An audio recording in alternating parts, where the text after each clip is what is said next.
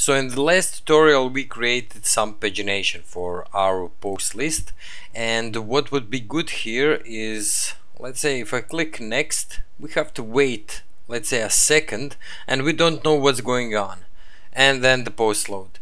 So in this quick tutorial I'm just going to show you very quickly how you can make a kind of a loading screen while uh, your posts from the other page are being loaded so that the user of your application knows exactly what's going on.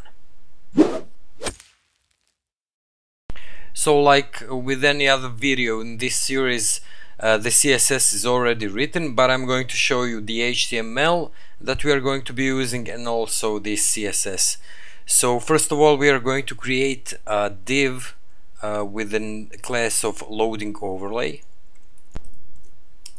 okay and then in that div I'm going to create another div with the class of loading you can of course put some animated GIF in here or you can animate something with CSS, whatever you want, but we're going to be keeping it simple in this video so I'm going to just write loading and that should be it.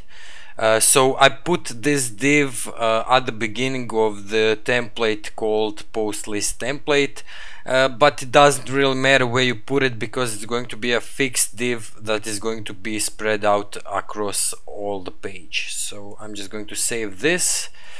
Uh, let's just check it out.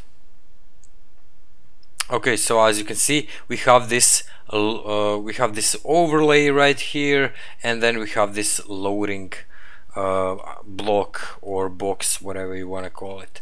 So the CSS for this is in the homepage.css around line 266 so we are using the same styles for loading overlay as we are using for the overlay div. And for loading I'm just using in a box uh, with a width of 300 pixels. It's a fixed position. There are some uh, font styles and so on. So now that we got uh, this div covered right here let's just create a logic uh, for this to show up only when our posts are loading. First of all in our app.js file let's just initialize this loading variable. Okay and then since all the posts are loaded via this get post function we should define it right here. So we're going to say this set. So before the posts are loaded we're just going to set this loading variable to be true. Okay so uh, when the posts are loading we should display our loading screen and after the posts are loaded which is right here so we get the response we set the posts and right here we can just say this set loading to false and save it. So if we go right here refresh the page nothing would happen. We would still be just getting this loading screen right here because we didn't define uh, that condition in our HTML so we just go right here and do v if loading. And that's it. So uh, once the when the loading variable is true show this div. And once the variable loading is false then hide this div. So if we go to our page right now refresh it.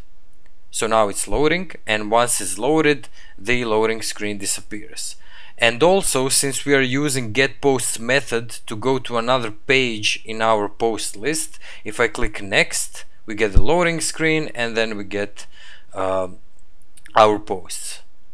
So this works. Also if we go to the previous post we should be getting the same thing as I said before, instead of just this loading text, you can use uh, animated GIF or you can do something with CSS3 animations and animate something while the content is loading. So as you can see, this is a very easy way to create your loaders.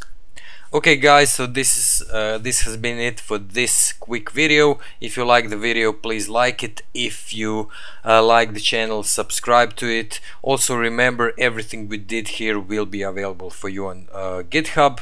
Uh, you can also follow me on twitter or on facebook ask me questions uh, whatever you want. So thank you guys for watching and I'll see you in the next video